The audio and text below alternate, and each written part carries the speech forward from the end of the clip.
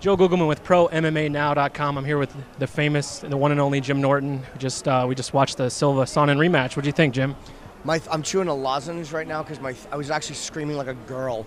It was awesome. I wish it went more than like you know one and a quarter round, but uh, I thought Chael was just going to beat the shit out of him because after that first round, it's like that's exactly what Chael wanted to do. He was all over him like a nightmare. He's just a nightmare. On him, pounding him. It seemed like I full mounted him. I'm like uh, Anderson's finished. And then there was a weird moment in the second. I think when Chael tried to take him down, and Anderson hit a couple of shots. Chael tried to take him down again and couldn't. Yeah. And then you knew, oh my God, he's in trouble. Confidence surged at that point. You could just see Anderson.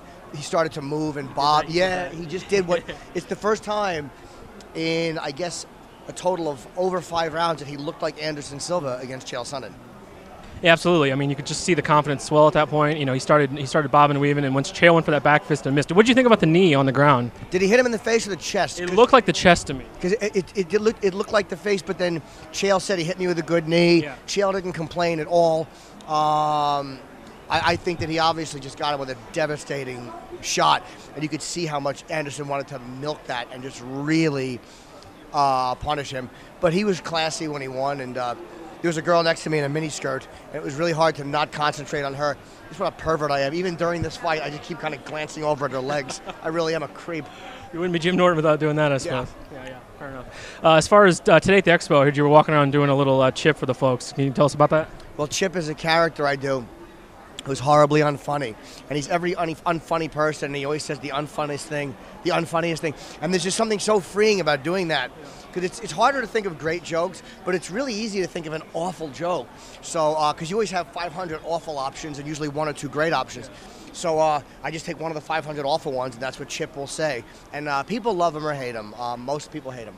I love him. I, I can't get enough of it. When you walked around, uh, was a New York Comic Con a couple months ago? That was a while ago, and I'm doing San Diego next week. But it was fun to do at UFC because I wore a hat and I wore UFC gloves. I really look like an asshole. About those gloves, I saw you have about 30 pairs of them with individual signatures. I was talking to Bob Kelly earlier today, and he was he was uh, mocking you out for that. I got a bunch, yeah. I got uh, even I never bring them to the fight, but I did tonight, and I got GSP and uh, Werdum. You got to get Werdum. What a big, what a big son of a bitch he is. He doesn't look that big in the cage. You stand next to him in real life, and he's a hulking guy. man. I saw Frank Mir in a hallway today, and just a man. It's amazing how you'll watch a guy fight, and you go, "Oh, that sucks," and then you stand next to him, you're like, "Oh, I forgot, they're men." Yes. Real men, Yeah, the nerve of me to criticize any of these dudes. They're, like us comedians and reporters. Yeah, exactly. Just weasels. We re- we report on the endeavors of men and make fun of them.